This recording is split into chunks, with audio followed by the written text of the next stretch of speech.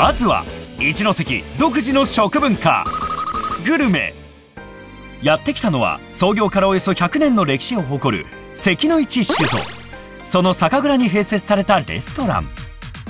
早速2人の前に運ばれてきたのがさまざまな色とりどりのお餅でご用意している花宝餅膳といったお餅のお膳になりますね。やっぱり一関といえばね餅ですよね。そう一関独自の食文化というのが江戸時代から伝わるという餅を使ったグルメ。米どころでもある一ノ関では江戸時代頃藩の命令で毎月餅をつき神様に備えるという習慣があったんだそう。さらにその餅を飽きずに食べるため味の工夫を凝らすようになりどんどん進化していったんだそうです。一ノ関ではやっぱお餅よく食べるの？食べますよね。ですね。どの家にも餅つきとかも、はいありますので。ありますよね、自分の家の餅つき機で餅をつくっていうのが普通なので。ちっちゃい時からもう餅つきと一緒に育つっていうぐらい、うん。はい。身近ですね。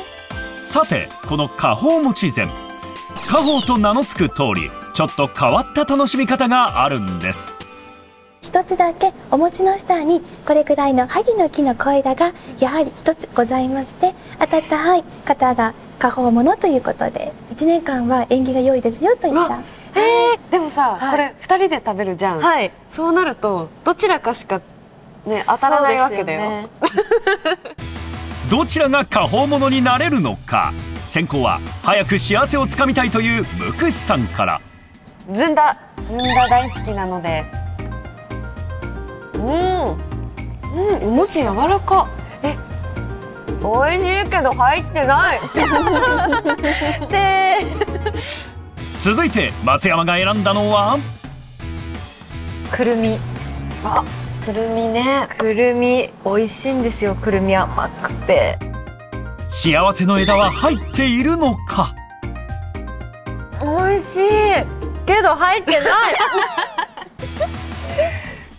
再びむくしさん。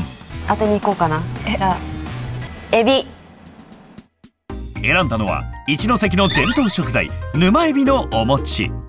おめでたい紅白の色が怪しいと睨んだそうですが。いただきます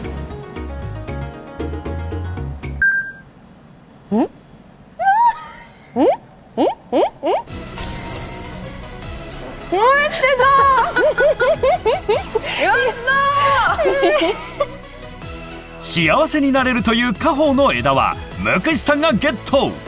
枝はお財布に入れておくとお金持ちになれるんだとか。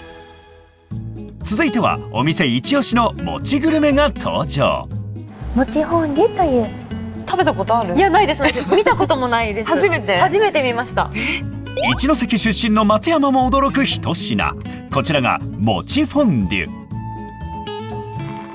熱々とろっとろのチーズにお好みで日本酒の関の市とミルクを加えコク深いチーズソースを作ります。そこにつきたてふわふわのお餅をイン。チーズに深くくぐらせていただきます。合います。おうチーズすごい濃厚ですよね、うん。お餅も一緒にこうとろけていく感じ、なんかチーズとお餅の境目を感じないというか、うん。一体感ありますよね。一体感ある、うん。舌で舌でいける。うん。滑らかな餅、うん